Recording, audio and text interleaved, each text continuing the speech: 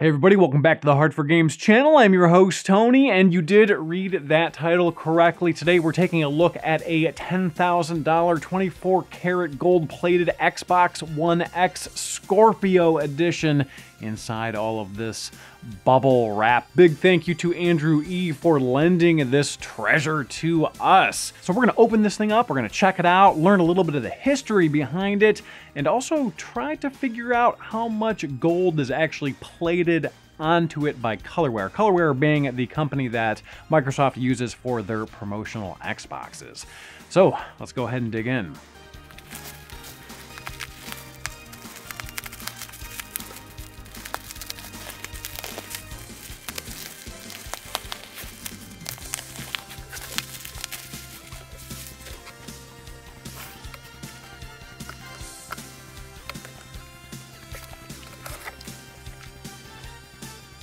So in here we have the, you know, the AV cables and power and stuff.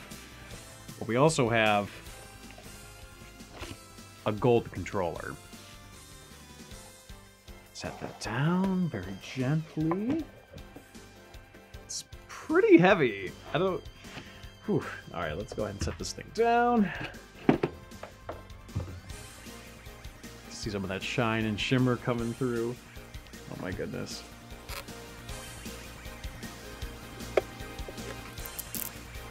I'm gonna have to like microfiber my fingerprints off of this thing because it's definitely like a fingerprint magnet. There we go.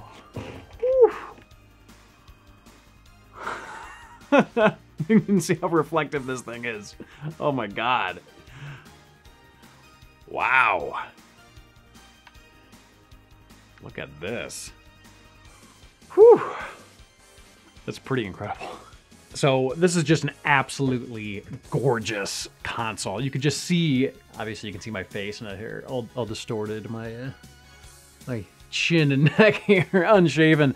Just, it is just absolutely gorgeous, shiny, heavy friggin' console here. Oh my goodness.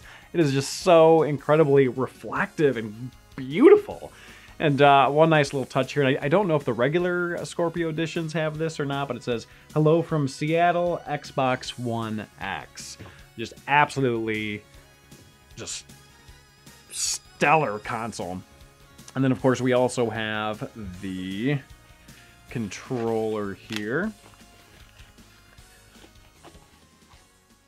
And that's definitely lighter feeling like a controller would be, but still so bizarre to just like see so much of your face distorted like a funhouse mirror in the uh, in the controller, but it, uh, that's just really, really cool.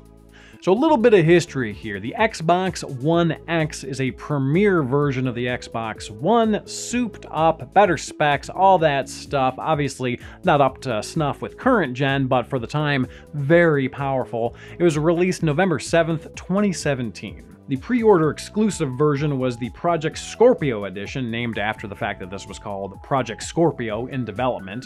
The gold-plated version, however, could be won via the Xbox Game Pass Quests contest. Quite a, quite a mouthful. Here's an example from their site. Introducing Xbox Game Pass Quests Summer Edition. Hello, fellow gamers. Your summer fun is about to begin. Starting today, we're kicking off the Xbox Game Pass Quests, Summer Edition with new quests every other week exclusively available to Xbox Game Pass members. Whether it rains or shines, you will get rewards to play the games you love all summer long. Little bit further down here, what is the first quest? Starting today, complete both quests listed below to get a Fox Bat Brasilisk from the Elder Scrolls Online Tamriel Unlimited. Sorry, I just, I, I, I have not played that game. I'm mispronouncing everything here. Plus a chance to win a gold-plated Xbox One X Project Scorpio Edition. Quest 1, play 60 minutes, 3 days in a row in any Xbox Game Pass title before July 9th. Quest 2, earn three achievements in the Elder Scrolls Online Tamriel Limited from July 10th through the 16th. So essentially, different quests had different playtime goals, achievements to unlock, etc. Doing these would put you in the running to potentially win a prize, and in some cases, it was one of these. Interestingly, some individuals didn't know there was even a contest going on and won. So they just happened to have a subscription and happened to achieve the requirements just by naturally playing how they would normally anyways, and then they were contacted by Microsoft to let them know they won a prize, which is pretty incredible. So currently we know of four of these that exist, but Andrew has an inside source that tells him that approximately 15 exist. Granted, there's no way to verify that. But what my guess is, is that, again, we know of four of these that are out in the wild because their owners have made it very public that they have one. Uh, there are probably other individuals that have won these that just kept it more private.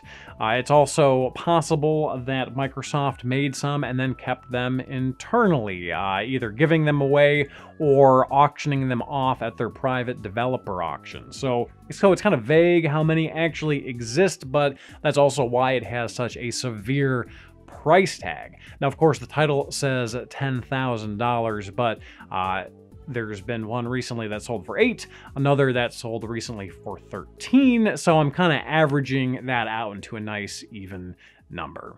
So I was really curious how much gold was actually put into this thing. Obviously, when you gold plate something, it's not solid gold. It's thin sheets of gold that are plated on top of something. So yes, it's 24 karat gold, but how much mass of gold is actually on there? Uh, so theoretically, there should be a difference in weight between this console and a normal pre-order retail Xbox One X Scorpio edition. So I headed over to Retrotaku Video Games and hooked up with John and the employees over there. They happened to have the Scorpio edition console. So I weighed that in grams, ounces, and pounds, grams being the finest measurement. And now we're gonna go ahead and weigh this and see what the difference is, if any. John, you wanna weigh your balls real quick?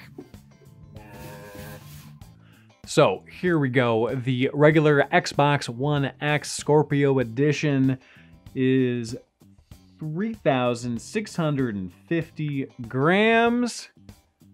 This is 3,730 30 grams, meaning that there is 80 grams worth of plated gold on it. Retail console is 8.048 pounds. This is 8.224 pounds. Retail console is 128.74 ounces. This is 131.56 ounces. And just out of curiosity, we're going to go ahead and measure the controller versus, unfortunately, they didn't have a Scorpio Edition controller. They just had a regular Xbox One controller. But let's just see if there's a difference. This will be a little bit less exact. So the regular Xbox One controller is 235 grams. This is 239 grams. So a difference of four grams worth of gold plated on this thing. So there is a definitive difference between the retail version of this console and the gold plated one in terms of weight. 80 grams worth specifically and another 4 grams on the controller itself. Assuming no other internal differences, which I really doubt because I'm assuming Microsoft just had a stock Xbox One X Scorpio Edition and sent it off to be gold plated, one could guess that additional weight is the gold.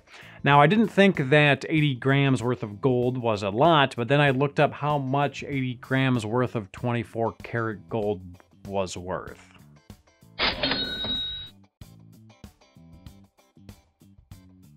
So big thank you to Andrew E. for lending us this incredible console. If you want to see more content like this, make sure to subscribe to our channel, click the notification button. You can join us on Patreon if you'd like to support us even more. And of course, also check out Andrew on Twitter. He's a very avid collector, as you probably have guessed. He posts all of his findings and purchases there. So it's definitely a wild ride. And make sure to check him out. I'll put a, uh, his handle on screen here and also a link in the description below. But aside from that, thank you all for watching, and uh, we'll see you all next time.